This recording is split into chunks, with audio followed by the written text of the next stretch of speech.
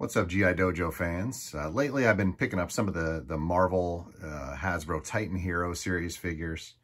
And uh, I just picked up this 14-inch Sentinel. Uh, so we're going to take a look at that. I'm just going to film the box here for a second, and then we'll open them up. The Titan Heroes figures are typically 12-inch, uh, but this guy's 14-inch. He's meant to tower over the 12-inch figures a little bit. Um, also, they have a a series of four inch figures for this X-Men 97 uh, revival season that they're going to release on Disney Plus. And so this Sentinel works either way. You can have him kind of fight head to head with the uh, the 12 inch Titan Heroes or the four inch X-Men 97 figures. So that'll be kind of in scale. So let's go ahead and open up the box and uh, see what he looks like. Okay, so we got the Sentinel out of the package. Uh, I got, you know, some other scales, other figures here, just to do some size comparison. Uh, so yeah, this is, this looks a lot like the uh, Sentinels, how they were depicted in the 1992 animated series.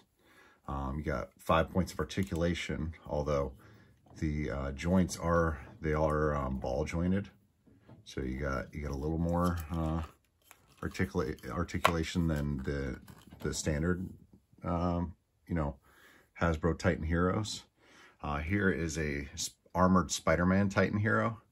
As you can see, he doesn't have the ball joints. He's just like a uh, shampoo bottle, some people call call them, but uh, because of the, the ball joints uh, on the, the Sentinel, it's a little bit better articulation.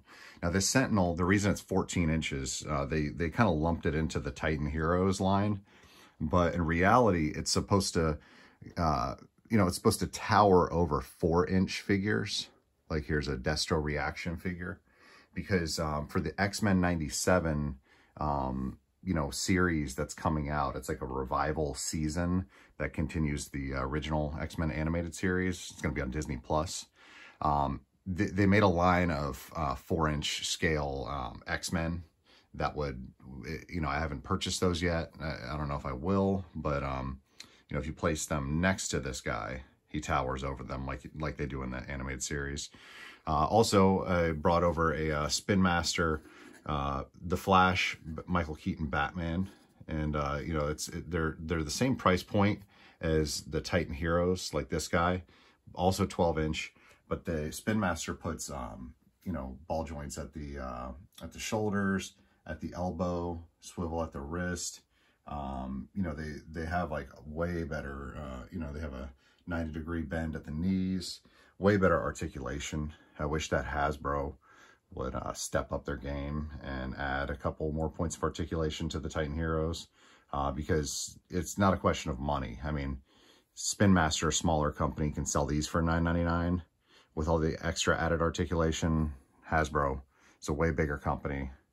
Uh, they can afford to do it and, you know, still still make money. So, um, yeah, this has been the uh, X-Men 97 Sentinel from the Titan Hero series. He's 14 inches, and uh, that's how he scales with, with other action figures.